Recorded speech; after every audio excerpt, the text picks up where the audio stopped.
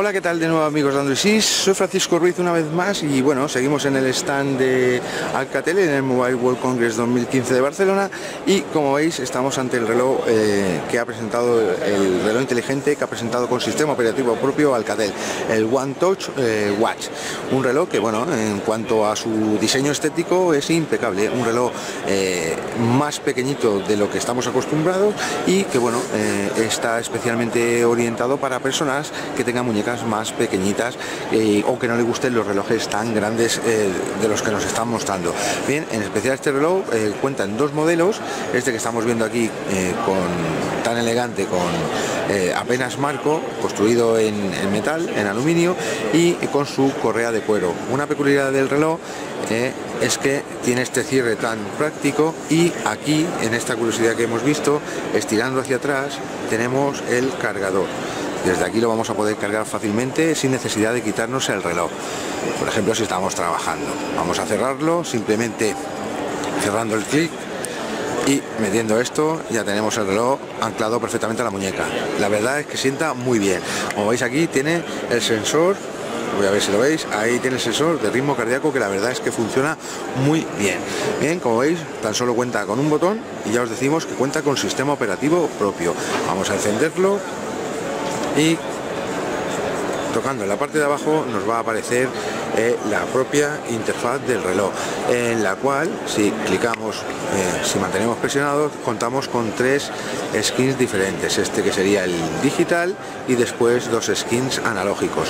Lo único que vamos a poder cambiar es el fondo de pantalla eh, desde la aplicación para el móvil que es donde vamos a controlar todo Bien, si clicamos en, la esfera vamos a poder ver cómo entra este menú tan colorido. Ya os digo que no lleva Android Wear, es el sistema operativo propio donde tenemos acceso a las diferentes eh, secciones del teléfono. Aquí para el tiempo, aquí para la actividad física, aquí para el sensor de ritmo cardíaco que si presionamos, vamos a darle ahora ponemos el dedo en el sensor, normalmente si lo tenemos puesto con el propio pulso de la muñeca ya serviría. Y clicamos al sensor y nos tiene que tomar el pulso, como veis ya está notando las pulsaciones. Y tan solo tenemos que esperar unos segundos para que nos diga el pulso que tenemos en ese momento. Vamos a esperar un poquito. Y como veis tengo el pulso normal a 94 siempre clicando en la parte de abajo del reloj vamos a salir eh, es como si fuera la opción atrás. Como veis tiene podómetro tiene para escuchar música tiene cronómetro vamos a ir para atrás brújula podemos activar la cámara del smartphone eh, desde aquí es lo que he hecho antes presionando eh, ponerlo en modo vibración silencio avión y desde aquí vamos a, vamos a cambiar el aspecto de los iconos yo prefiero este tono y desde este icono de aquí vamos a controlar el brillo del reloj. Eh, decirles que si desplazamos hacia arriba vamos a tener acceso a las notificaciones. Todo esto se controla desde la aplicación propia para el smartphone vamos a ir hacia atrás y otra vez hacia atrás. Y como veis como os he dicho antes tan solo tenemos tres skins uno digital y dos analógicos. Lo que sí que podemos cambiar es el fondo de pantalla predefinido. Ahora vamos a ir a la aplicación del móvil y os voy a enseñar un poquito con lo que cómo podemos controlar todo desde la aplicación pues bien, esta es la aplicación con la que vamos a controlar los diferentes aspectos del Alcatel One Touch Watch, el nuevo wearable que ha presentado Alcatel, un reloj inteligente con sistema operativo propio que va a salir al mercado en el mes de mayo eh, por 129 euros. Una buena alternativa para el que no busca Android Wear o un reloj un tanto más pequeñito. Bien, como veis aquí vamos a poder controlar la alarma del reloj vamos a tener acceso a cambiar el, wall, el wallpaper y los skins que os he mencionado antes del reloj. Y si queremos darle a cambiar el wallpaper o sea el fondo de pantalla tenemos estos colores básicos para cambiarlo aparte de poder poner cualquiera de estos o también podemos eh, poner una imagen de la galería o colores básicos. Si nos vamos hacia atrás dos veces vamos a irnos al aspecto de notificaciones, donde las notificaciones que vamos, vamos a elegir las aplicaciones que nos mandan notificaciones al teléfono. Las notificaciones simplemente vamos a poder ver una previa y no vamos a poder interactuar con ellas. Simplemente a título informativo eh, nos mostrará el reloj mm, que por ejemplo Paco nos ha enviado un WhatsApp y tendremos que sí o sí ir al smartphone para poder interactuar con o contestar al citado WhatsApp, Hangouts, etcétera, etcétera.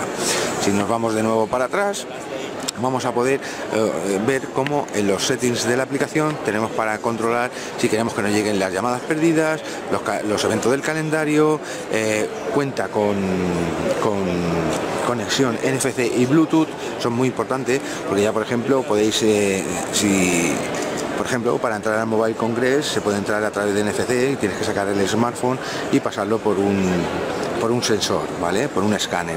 De esta manera tan solo tendrías que pasar el reloj, no tendrías que sacarte el, eh, smart, el, smartwatch.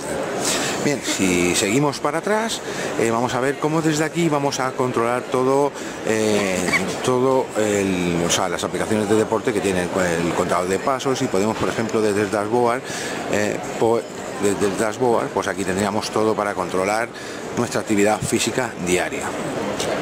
Bien, como digo, la única pega que le podemos poner a este reloj, que en principio van a salir con varias correas, que ahora os enseñaré, eh, el, defecto que le podemos poner a este, a este reloj es su batería de 210 miliamperios, que yo creo que a duras penas, aunque no se puede asegurar ya que tiene sistema operativo propio y puede que esté muy bien optimizado, no gaste tanto como Android Wear, a duras penas vamos a llegar al día. Eh, desde aquí al Cadel nos aseguran que dura dos días de autonomía, o sea que tiene dos días de autonomía, aunque yo mm, verdaderamente no lo puedo asegurar, eh, tendremos que creer la palabra del Catel, pero bueno, yo lo dudo mucho, yo creo que este reloj es un reloj que vamos a tener que cargar eh, todas las noches, sí o sí, si no quieres que te deje tirado al día siguiente. Eh, mis impresiones generales es un reloj muy interesante para gente que no se quiere gastar el dinero que cuesta ahora mismo un Android Wear, que está alrededor de los 200 euros los modelos más sencillos y bueno, para ver la hora, recibir notificaciones y bueno, controlar nuestra actividad física está la verdad que muy bien.